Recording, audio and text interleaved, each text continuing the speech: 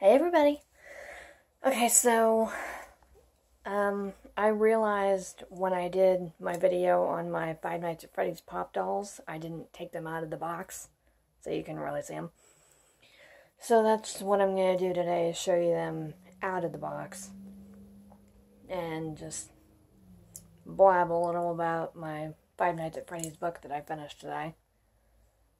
I'm probably going to read it again because it was that good. Okay. I don't think. Okay. I'm going to start off with Bonnie. The attention to details on these is incredible. Whoa. Thingy on the back of his head. It's probably some makeup. I'll get that later.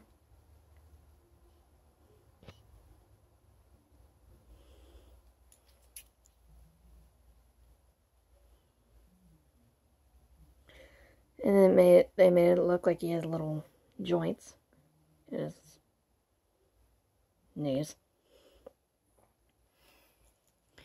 Okay, and then here's Chica.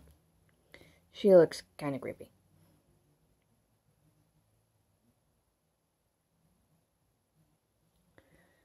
And you can't really tell, but I like on this how they painted part of it silver, so it looks like she has little bolts in her, holding her joints together. Sorry. Yeah. Sorry, my hand's shaking. So there's Chica. She has a little bit of problem standing up because of her feet. But I manage it. She's just a little wobbly. Okay, here's Freddy. Again, lots of detail.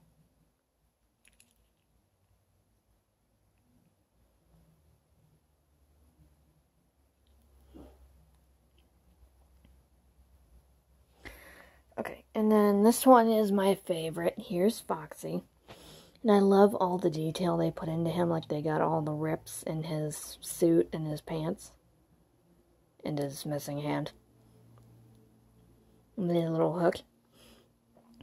Which, if you compare him to my Foxy plushie, the little Foxy plushie doesn't have a hook. Or tears in him. He just looks normal. But then the pop doll is a little worse for wear, for lack of a better term.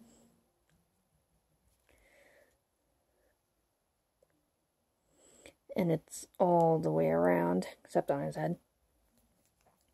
But I am amazed how much detail Funko put into this, especially Foxy. Like, all of them, they put a lot of detail in, but this one just astounds me. And he stands up pretty easily. I don't know why. But, yeah. Okay, so I'm gonna go now. I got a call from, whoop, I got a call from Barnes & Noble today that my DVD I've been waiting for is finally there. So I'll go over and get it sometime in the next week and then do a video on that. And then I'll finally have all my Christmas presents. Okay, love y'all. Bye.